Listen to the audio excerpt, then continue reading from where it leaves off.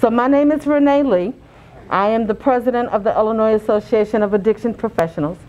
We are the chapter of NAADAC, which is the National, the National Association of Alcoholism and Drug Abuse Counselors. And so Above and Beyond has had the honor this year to receive the Organization of the Year. That's some clapping right there.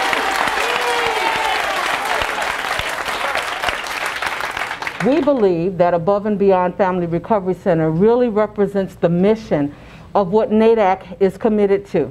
And that's why we uh, support this nomination and we were happy to make the nomination on behalf of Above and Beyond. We understand and we recognize that you are a premier organization on the near west side of Chicago, Illinois.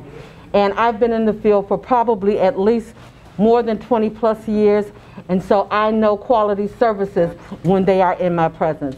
And so today I want to acknowledge that, and I want to present to Bri Brianna Tart and Alicia Gathis on behalf of Above and Beyond Family Recovery Center the NAADAC 2020 Organization of the Year Award.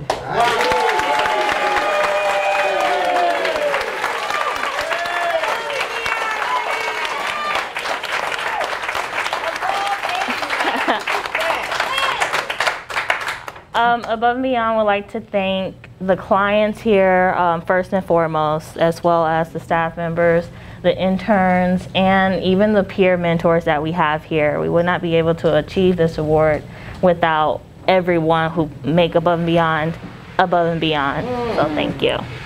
Absolutely.